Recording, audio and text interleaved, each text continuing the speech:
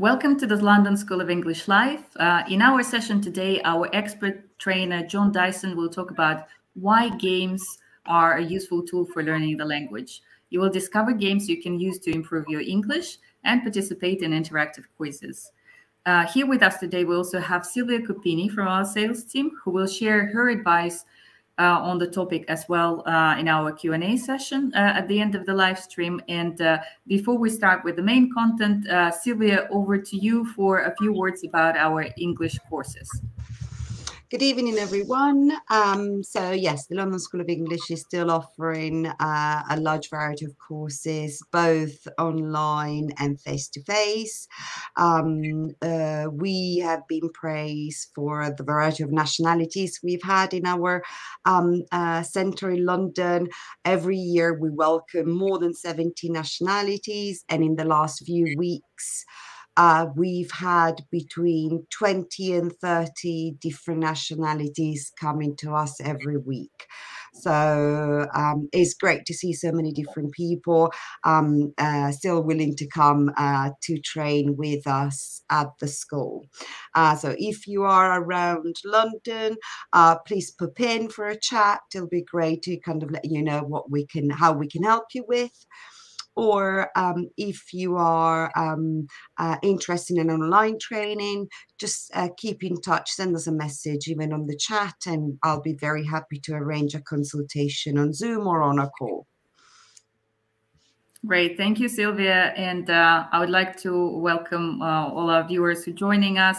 We've got uh, one of our alumni, Frank, uh, who's already saying hello. Uh, Ali uh, is saying hello. Hello, everyone. And now over to Jon for the main content. Thank you, Olga. Thank you, Sylvia. Uh, hello, everyone. Hello, Frank and Ali. Nice to have you both with us today. Um, welcome to another live stream from the London School of English. My name's Jon Dyson, and I'm one of the trainers here. Um, I'd like to thank you very much for joining us this afternoon on our live stream. Um, today's subject is using games to learn English vocabulary. Uh, so that's the title. I wouldn't just limit it to vocabulary. I think obviously you can learn, you can use games to learn other aspects of the um, of the language. You can learn vocabulary, and with apps, you can also um, practice your pronunci- pronunciation because many of these apps, which we'll look at later, um, actually in- integrate uh, an audio uh, capacity, which means that they will pronounce the word. Well, artificial intelligence will pronounce the word for you. So let's begin just by setting out a few ground rules for a good um, English vocabulary game. So, what are the ground rules for any game when it comes to learning vocabulary? Well, first things first, an English learning game should be accurate and effective all grammar structures it uses should be grammatically correct, and all vocabulary words and terms should be spelt and defined correctly. If there are any problems or inaccuracies in the game, it's better to avoid that game. Using a game with problems like these means that you'll end up learning incorrect information. So, as always, look for a game that's highly reviewed and has impeccable English. And if you want to get reviews, just put in the name of the game in your search engine and put reviews after it, and it'll give you some kind of indication of what people think of that game in general. So that's the first thing I'd say is important. Um, I think the second thing is that these games, whatever game you choose, should help you to learn new words and expressions. It should really help you quality games will help you to remember meanings of difficult words and perfect your mastery of grammar patterns through a combination of using such features as word association or images and repetition. So that's the second thing. So we've got it should be accurate, it should be helpful, and of course, as with any good game, a good English game should be fun. It should be fun, it should be entertaining, and it should be engaging. It should entertain you as you play it. Some of the best English games are those that make you forget that you're actually learning. Of course, what I think is fun might not be the same as what you think is fun. So it's important to always look for a game that is directed with your interest, that aligns with your interests, while also targeting the English that you want to practice. So, having done that short introduction about the ground rules, let's say, for a good language vocabulary learning game, let's move on to the second part where we're going to look at um, that basically we're going to look at two types of games. So the second part will look at the classic games, which you can play either online or offline. Um, and the third part of the the the uh, live stream we'll be talking about digital games, just a couple of digital games that are really good for helping you to learn vocabulary and are also very motivating and good fun. So let's start with what I've called the classics. Now, there are certain classic games that you probably played in your own language, which are perfectly adaptable to uh, learning English vocabulary. The first of those is Scrabble. Yes, it's a very, very famous game worldwide. Uh, basically, the rules are that you have to come up with words on your set of tiles, which you can see in the picture, and each tile has a letter. And at the beginning, you take seven tiles and you try and um, create a word when your turn arrives. However, your word has to connect with another word already on the board, horizontally or vertically. Just like you can see here, you've got back, school, to, learn. You can also make words which are also already present on the board longer. So, um, uh, just an interesting statistic actually. Apparently, roughly 60% of homes in the United States have Scrabble, and around 50% of British households have a Scrabble game somewhere. So it's an incredibly popular game. And of course, there is um, an electronic version available. So you can play that across continents with your ex classmates or friends who want to mm, their English vocabulary. Now I put a gap in the word there. Yeah. Um, you, you have to decide what that word is. So I've got a little Scrabble type uh, test for you. You're going to see uh, the letters of the word all mixed up, and you have to try and decide what that word is. So this is for friends or classmates who want to mm, their English vocabulary.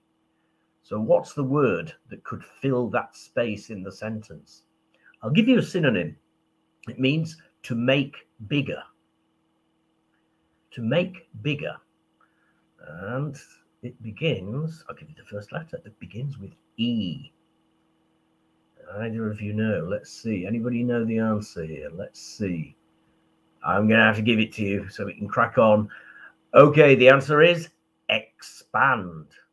Yeah, so you can use it to expand your English vocabulary. Right, let's move on to the next game. The next game is another one which you probably heard of. It's called Taboo. Uh, taboo is similar to the game of charades, which is where you have to act out a film or a book or a song or a play. But um, the goal of it in this case is to try and get your teammates to guess the word without showing one of the five words which you see on the cards that you need to play the game. So it's a good way, this is a very good way of forcing you to describe a word or expression without using the typical words which you might use to define it. So it's very good for advanced learners. So it's a really good way to help you expand your vocabulary because it makes you more inventive. It encourages you to be more inventive in how you give a definition. So let's take an example. So normally taboo is played with cards a bit like the one you're going to see on screen. Here we go. So which word at the top, and you can see it's two words. The first word has five letters and the second word has five letters. And you cannot use the following words. Camera, touch screen, essential, iPhone, and multi-purpose. So which word or term am I thinking about there. It is something which we cannot do without in our day to day lives. Well, we can do without it, but in fact, if you make people leave theirs at home, for example, or they lose it, it's like a catastrophe has happened. Many people say, What did we do before we ever had this particular thing? Now, the answer, which I'm going to give you, if unless anybody wants to come up with a guess at the answer, the answer here is smartphone. Yeah, smartphone. Now, the clue actually you also had there was iPhone, but um, should have put Galaxy in, shouldn't I? Anyway, so that's a good example, another good example of how we use the, the, the game Taboo to develop our English uh, vocabulary more. The third classic game is crosswords. Well, the crossword is, is perhaps one of the oldest games of all time. As you know, you get clues or hints which either go across or down. And we'll take um,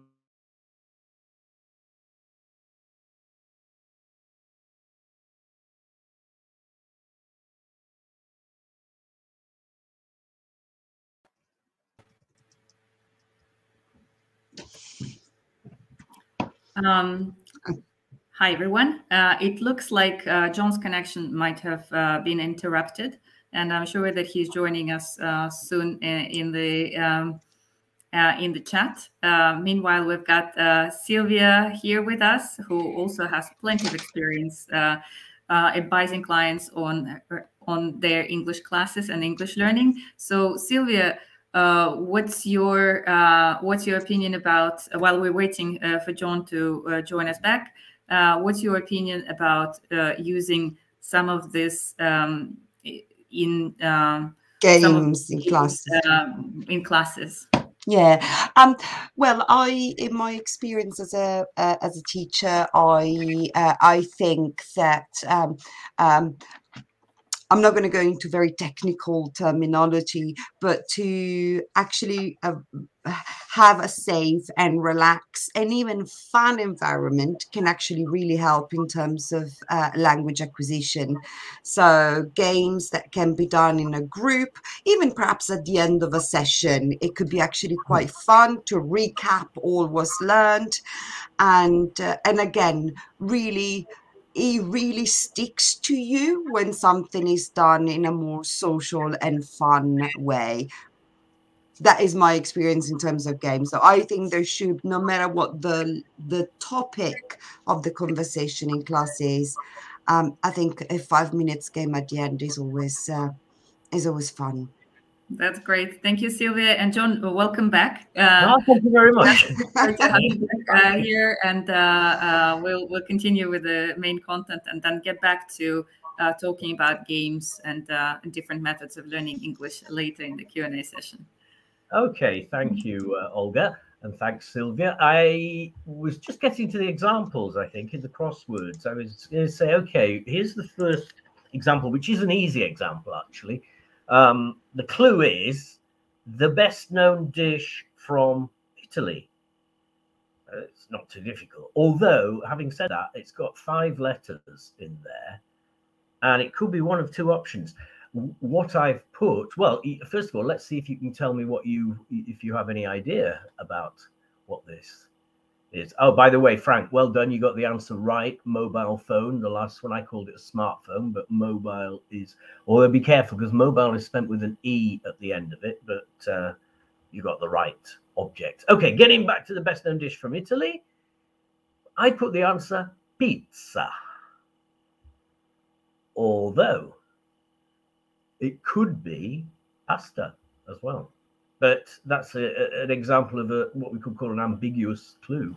Okay, well, uh, well, it could be pasta. This is Santi Lazaro who's, who's um, joined us. It could be pasta. You're absolutely right. Um, yeah, and welcome Pallavi from India. Nice to have you with us as well. Okay, let's go on to the next uh, example.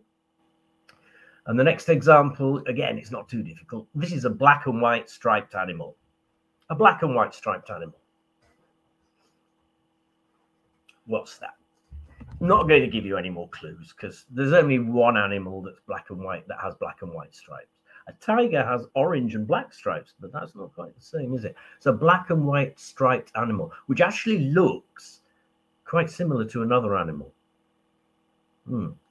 So the answer to that, let's see if anybody can get in there with an answer. Oh, I can see you all frantically typing across the world to try and get your answers into me. A black and white striped animal is a zebra. There you are. You've got the first letter given to you there. Let's move on to the third one. This is a little bit more difficult and it's rather more um, attached to a particular theme. So the clue here is the document you receive before a business meeting. It lists the subjects you are all going to talk about and we will see the spaces. Now as you can see in a in um uh, in a crossword of course as you complete the crossword then you are getting letters which you've filled in from other words. So let's say in this case you've got these two letters because you've already found another word with a g in it and another word with a d in it. So remember i said it's the document which you receive before a business meeting or you should receive it lists the subjects you're going to talk about in the meeting. And the answer is the answer is agenda. Okay, an agenda. That's right. Okay. And the next one is again getting a little more difficult. Complete the sentence. Thank you so much. I'm very mm, mm, mm, for your help.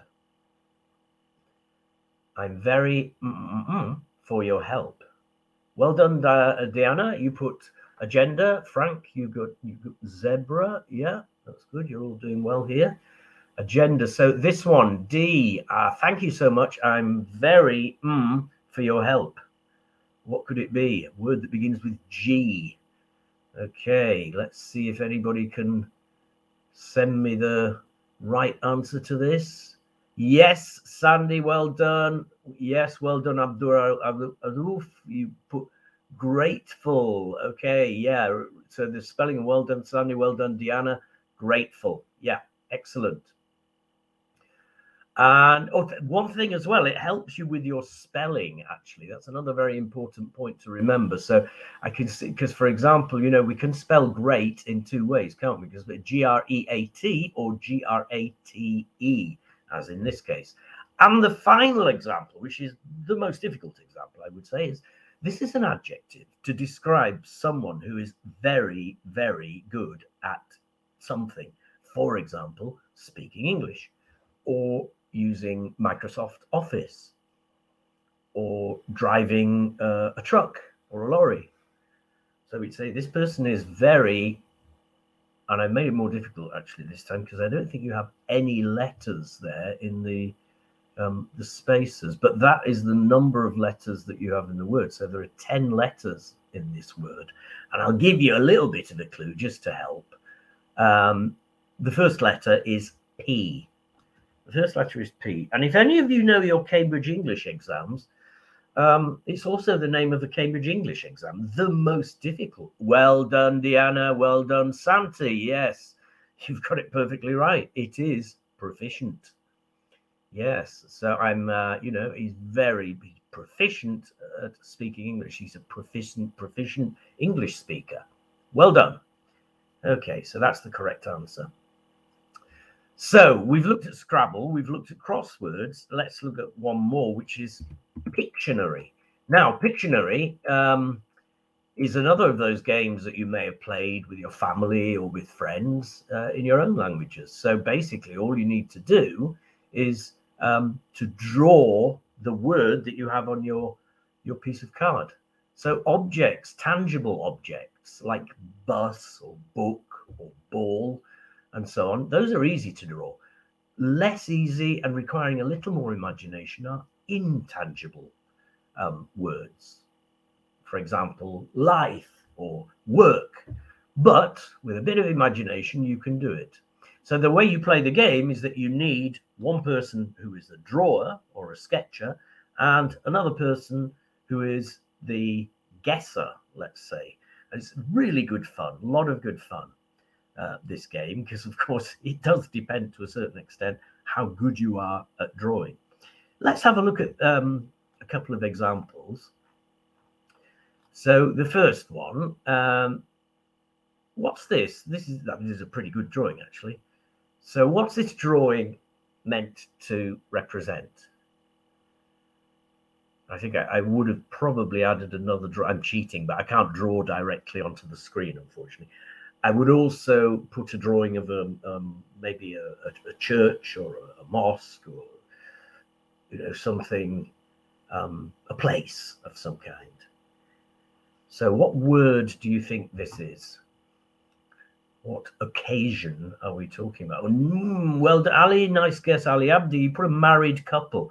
That's the outcome of this particular occasion or ceremony. It's actually referring to a ceremony. And I am cheating by using words. I should really be drawing, but um, um, it's not possible.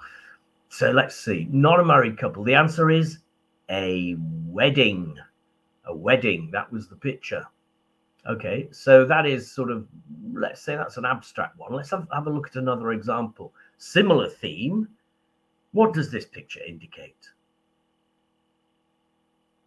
One of those universal, I think, uh, images that crosses cultures. Certainly, I think this uh, symbol is very much something which is recognized around the world. And let's see, does anybody know what it might be? It's what we all need more of in our modern lives. Not enough mm, and a bit too much hate at times. It's like the opposite of hate. So the answer to this one, the answer is love.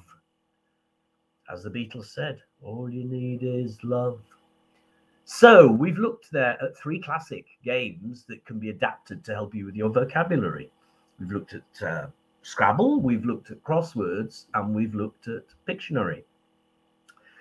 Uh, and we, of course, we've looked at uh, Taboo. So now let's move on to a couple of digital games and apps.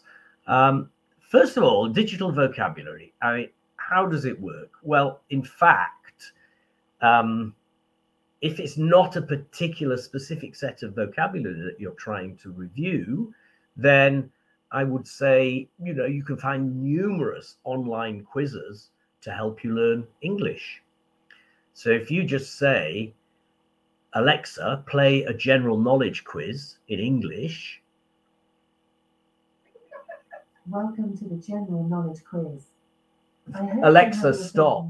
Sorry, actually, it's a bit rude to talk to Alexa like that, but um, that's she. She will do that if you ask her.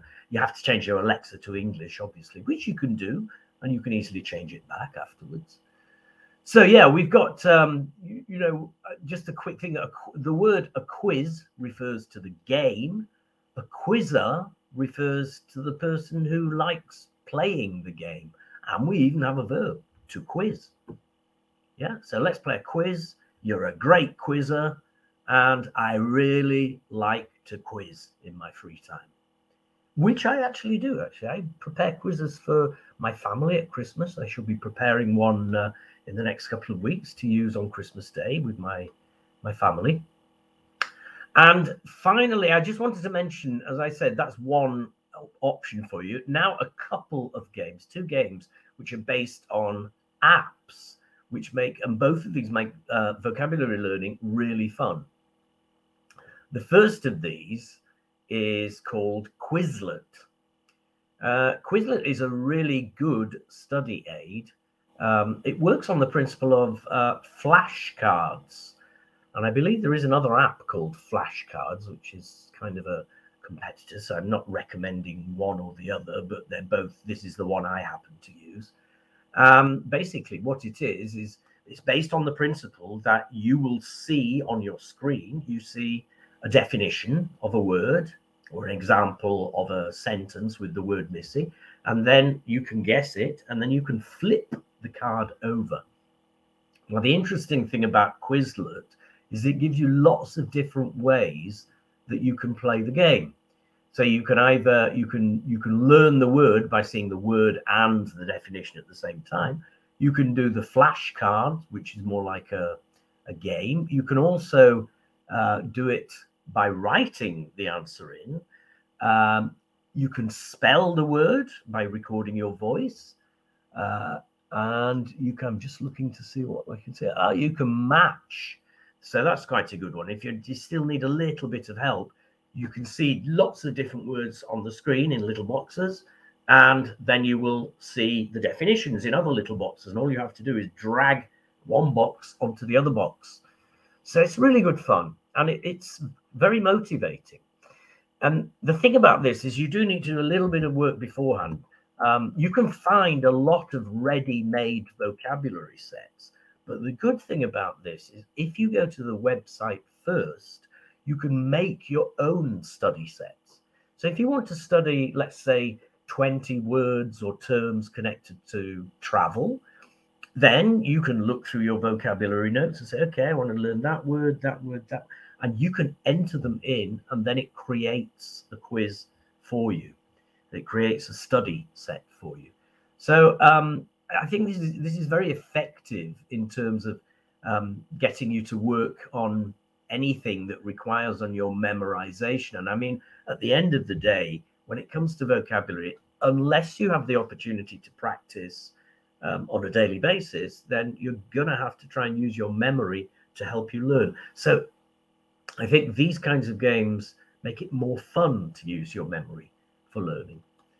So whatever you're trying to remember, rather than um, it'll it'll give you um plenty of exam um, advanced sorry features, and Quizlet is a really good tool. I would really recommend it for students, learners, or anybody looking to learn. And it's not just about learning vocabulary, but in this case, I've used it a lot with my students, and um, they they really like it. They find it very motivating, and it's a phone-based app. So basically, you can. The other good thing about it is you can use it anytime, anywhere. Of course, that means if you're on the train or you're waiting for a bus, whatever it might be, you have a spare five minutes. Go to one of your study sets and say, "Okay, let's see how I how many I can remember." So let me give you a, um, a couple of uh, examples. Um, so we've been doing rather than one quiz all at the same time today, we're doing little mini quizzes throughout. So this is um, words connected to um, holidays and travel. And the first one, let's see. So you would enter a definition, and the the definition would be the opposite of arrival. So what is the opposite of arrival? What's the term you're trying to review here? The opposite of arrival. I'm going to give you the answer. It begins with D. And the word is, the word is, still waiting to see if anything comes through. The word is departure. Not a very difficult one because if ever if you've ever used an airport, normally most airports tend to have that in English as well as in the local language. Let's try one that's a little bit more tricky. This is the definition, and it's, it's very culturally specific, this one. This is a typical British family run guest house. Well done, Deanna. You got the answer departure. That's good. This is the definition a typical British family run guest house where you get a room and the first meal of the day included in the price. Uh-huh. Yeah, so it's a very, very typical British thing. You hear a lot of visitors. I heard a lot of my learners and course participants, when they visited England, they often say, well, it's a reasonably economical way to travel around the country. If you're only staying one night here, one night there, then I normally find a room in a. Mm-hmm. And um, people are friendly because very often it's their own houses they're using for this little business. Okay, the answer is Remember, you get somewhere to sleep and you get the first meal of the day, bed and breakfast. Well done. B&B, from which the company got its name, Airbnb. And the last one, again, connected to travel, the verb which describes when you get onto a plane or a ship What's the verb we use to describe when you get onto a plane or a ship? Let's see if anybody knows that. Actually, I'll, I'll run through the answer because uh, time is sharp here. So the answer is to board. To board. Okay, so we've seen departure, bed and breakfast, and board.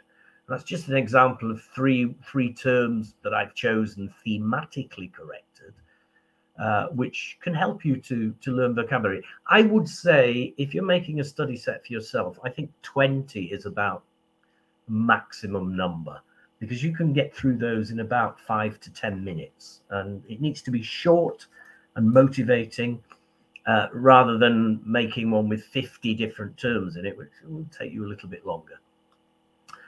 And the, the other game I would like to mention is called Kahoot.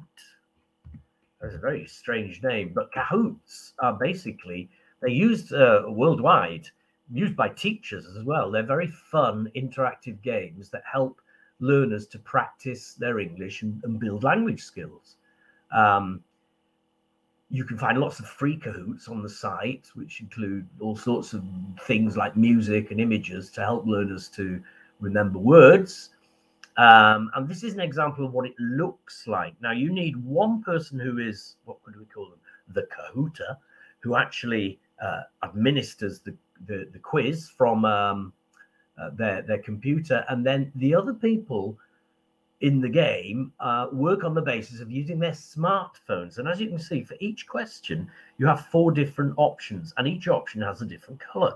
And all you get on your smartphone, you have to enter a code for the game and to be included in the game. And when you enter your smartphone, uh, you, all you have to do is press the right color box on your smartphone screen. So, for example, in this case, who invented the light bulb?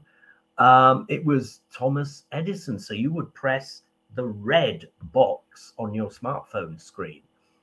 So it's really easy. It works on the basis of multiple choice, and you'll be able to see scores coming up. So it's very competitive.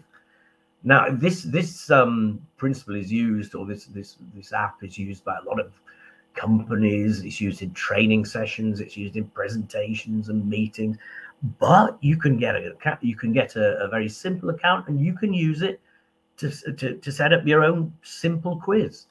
In fact, this is the one I will probably be using this Christmas, seeing as I have family members scattered all over different parts of England. Um, so everybody can join in. All they need to do is log on with their phone with an internet connection and from a distance you can have great fun. So again it's something you can meet up with your ex classmates and say okay once a month let's let's have a little vocabulary game and see who's doing what the best at remembering their vocabulary. Very very motivating. Okay so a couple more examples to end with here. Um, let, us have a look. So after the meeting helen wrote the mm, and sent a copy to us all so you've got the red answer would be hours, the blue days, the green minutes, or the yellow seconds. So which color button should you press? After the meeting, Helen wrote us, wrote the mm and sent a copy to us all. So all you need to do is choose the right color.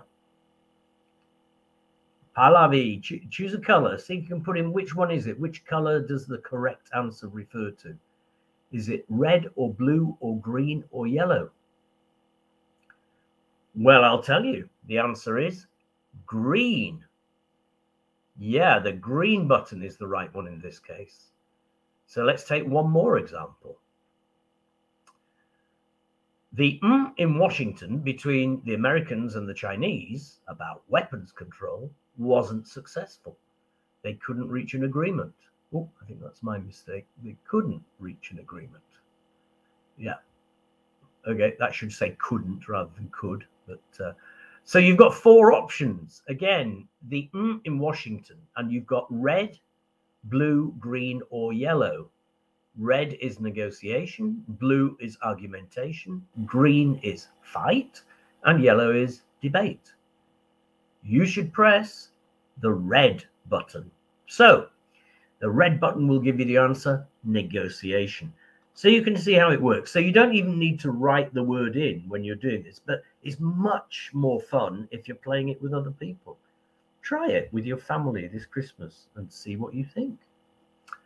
Okay, so those are basically I, the the two principal digital games that I wanted to mention in terms of um, learning vocabulary through playing games.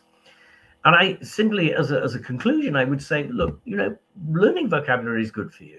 Playing games is good for you. It helps reduce or alleviate depression. Apparently, it alleviates insomnia and it reduces your stress levels.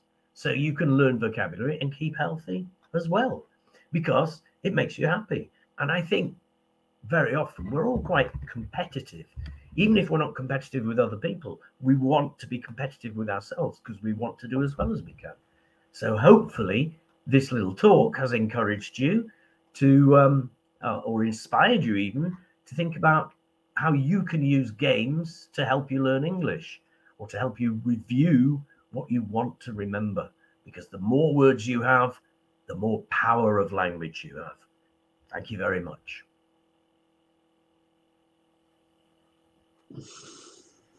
Thank you very much, Jon, for this very interactive uh, live stream. And uh, it's good to know that vocabulary uh, learning can be so much fun and is not only good for improving your English, but actually also for uh, uh, to to help us alleviate our mood and uh, fight with fight with symptoms of stress as well.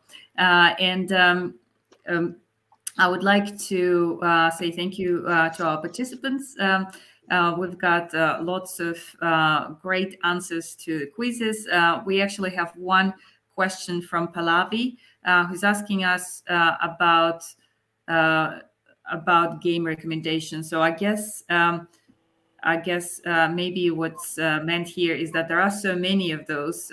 is there any many games? Is there any game that's better than the rest, or what would you say, Jon? I would say Quizlet, um, the the the app, because you can take it with you anywhere, and you can play it by yourself. You don't need to be with other people, and there are lots of different ways of playing it. So I'd say that's maybe the most um, versatile, because you can play Scrabble by yourself. It's not quite the same as playing against another person. So yeah, if I had to choose one, I would choose that one. Great, that's uh, great answer. Sylvia, I know that you also have uh, a lot of experience uh, uh, with, you know, advising our clients or improving their English. So what, what do you think? Do you well, have any other games to add to the mix? Yeah, um, well, I, I I agree with Jon that I think games is a very nice and uh, a way to not only learn new vocabulary, you know, revise new vocabulary. It's just it's, it is very a stress-free activity, and what a great way to actually I don't know travel by well, obviously we in London travel a lot by public transport. Use the time to actually, you know, have a bit of fun while traveling. But um, we um, and uh, we also, I mean, what I tend to do for people who contact us, that, that perhaps are a little bit more determined in kind of learning the language very quickly. Um, uh, the London School does offer uh, an app which uh, uh, sorry a platform which perhaps isn't game but is a very nice way in terms of self-study. Um, uh, for some could be quite entertaining. Some exercise are kind of gut feel perhaps not quite like scrabble not quite like the mm. activities that Jon talked about it but i do i do find them fun. You know i do find that kind of matching activity quite interesting and kind of gameish like you know you do get to to see the answers. Perhaps that uh, uh, that's uh, quite popular too. Great, uh, thank you. Uh, thank you both. Yeah, I would add. I, I, I agree absolutely with Sylvia. I mean, there's this this um, phenomenon nowadays in businesses, companies, whatever, called gamification, which mm. is a way of kind of making tasks which could be a bit boring make them more like a game because young people in particular nowadays grow up with video games and online games so their brains are hardwired to that element of fun and competitiveness and and you know and testing yourself. So I, I think it's um, you know it's a very important aspect of modern life. And I also agree with Sylvia when she was said earlier when I disappeared for a little while. I think she was said it's a very social and fun aspect to playing games. It's not something we associate with the really serious business of learning. So I think it can break down certain psychological barriers when you know that you're only playing it, you know, only playing a game, but you're actually getting something useful and positive out of it. Mm. Yeah, I guess in second language acquisition, there is a lot of theory of creating a relaxing environment in the classroom. And very often, teachers, you know, do have a very quick fun game at first to what we so we say lower the affective filter to make everyone in the class a bit more relaxed have a giggle before going into let's call it more serious work so mm. yeah gaming has a very i think a very important uh, uh, um, a function in, in a in a classroom mm-hmm. online right. or face to face yeah yeah thank you um, thank you sylvia and uh, I've got another question um, that kind of follows up uh, from it. But um, uh, I'd also like to call out uh, Sandy Lazaro, uh, who's joining us from Mexico today. Uh, and he's saying, Thank you very much, Jon. The games were great. I didn't know about Quizlet, but now I'll use it. Good to hear, Sandy. Yeah. yeah. Great stuff. Perfect. And uh, uh, Jon and Sylvia, can you tell us a little bit more about how we use uh, games in our classes? both uh, in our uh, London Center face to face and also online. Um, a little bit more on, uh, about yeah. this and maybe also if you could add about if you could add um, um, and talk about uh, other methods that we use to uh, help clients build uh, their vocabulary. Yeah, I, I, I'll take this to begin with. Um, you, we use uh, at the London School of English. A lot of the teachers there, all of them, I think, use um, role plays. And if you talk to a learner and say we're going we're to do a role play, the course participant will typically say, oh, "It's it's like a game, isn't it?" And I'll say, "Well, yeah, it is like a game. You don't have to necessarily take it too seriously. All we ask is that you follow the instructions on the piece of paper referring to the character that you are playing." but it is a form of game in a sense. And what it helps them to do is if we give them sufficient information on the card, um, it usually inspires them to perform and to use the vocabulary perhaps more than they would be doing if they were simply doing a vocabulary exercise where they're filling the gaps or they're having a discussion. So it's another, obviously, discussion is another good way of generating, of practicing vocabulary the, the important thing about vocabulary is to practice, and we really put a very high premium on practicing, activating that vocabulary in our classes. So the games we've talked about, are, you know, they're outside class in that sense. Um, you know, for post class, for consolidating vocabulary. But those kinds of things where we can create a kind of role play game in a particular situation really useful for, for activating and encouraging course participants to use that vocabulary. Great. Sylvia. Uh, or language in general. Sometimes, yeah. sometimes, sorry, uh, yeah, sometimes games are so, games or role play are so well designed that, um, you know, some uh, uh, from uh, from the eye of a of a teacher, you can see how well designed and guided they are. That they're really forced in a more subtle way to use the language. They're very they're very well well done. And I, I guess most people, even the most uh, the top end uh, um, CEO, will notice at the end of the activity say, "Oh, actually I have used what I've just uh, learned in a very natural in a very natural way. Yeah, yeah, they're very they're very well designed those role plays. Yeah. Yeah. I mean, I've used them. I've used them in business classes as well, because I mean, not only in general English classes where it could be a situational thing like uh, dealing with a travel problem, for example, but in a business uh, English class context, doing something like uh, a role play where they assume a character or a simulation where you say, okay, you are a committee of four people. Here are three problems. You have to discuss them, and you are pushing them in the direction of using the the appropriate vocabulary for doing that. Uh, so yeah, games and simulations. Yeah, and I think it's very important to do that in a safe environment like the classroom. Yeah. So doing that in, let's say, kind of artificial context, it kind of it relaxes you a little bit, and you're safe. You know, you can make mistakes. It's not the real world, and uh, and you can really try even language that perhaps you want to check whether it works or doesn't, because you know the teacher will be there to uh, comment or correct and you know expand on uh, on your language. Yeah i think. Yeah absolutely. Yeah that's that's great to know that it's uh, applicable not only in general english but also in business english uh, setting. And um, uh, and i guess particularly uh, in case of business english practicing this this skills and uh, using different different formats, even including telephone calls, uh, yeah. video conferencing, uh, uh as well as face-to-face classes, and kind of sim simulating particular business meetings uh, is uh, very useful. Yeah, because they're they're very skill specific. It's like you say, you know, most people want to learn how to. maybe negotiate more effectively in English, how to participate in meetings or run a meeting, how to work best on a Zoom call or on a telephone call, how to write better emails, and all of those are dependent on on vocabulary in order mm. to be really effective because they all have their own kind of little vocabulary sets which are specific to those uh, skills. Yeah.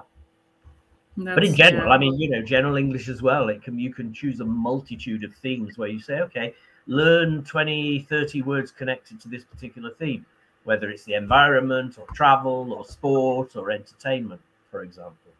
Mm, great. Thank you, Jon and Sylvia. And uh, on that note, I would like to mention that uh, our next uh, live stream would be focused on specifically on business English. So uh, if you're interested in improving your vocabulary, uh, then please join us and uh, you will learn very many useful expressions um, for your business English as well. Uh, on that note, I would like to say thank you very much, Jon, for this for creating this fantastic content for the live stream and for uh, for sharing uh, your tips and advice with us. And uh, thank you, uh, Sylvia, uh, also very much for joining us and for sharing your perspective on using games when learning English, um, both as somebody who advises clients on the next um, on, on, on the English uh, uh, training and classes and helps them to find the best uh, class and course for them, and also somebody who's got lots of experience uh, specifically with uh, English uh training as well. So thank you both, and Thank you uh, to our viewers uh, for your participation and joining us from different corners of the world. And uh, we hope to see you soon. And uh, if you've got any um, questions about our courses, I would like to uh, learn more about them, then you can always find this information on our site, londonschool.com, or uh, contact us either um, either through the contact form or an email, clients at londonschool.com. And uh, most likely Sylvia might be the person uh, helping you to find the right course for yourself. Right. So thank, thank you very much, everyone, and good evening. Yes, thanks very much, and thank you all for participating so actively. Thank you. Bye bye. Bye bye.